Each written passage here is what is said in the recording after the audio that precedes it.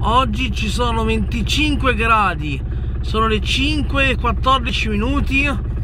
Oggi è sabato 10 ottobre 2020 buona serata a tutti quanti.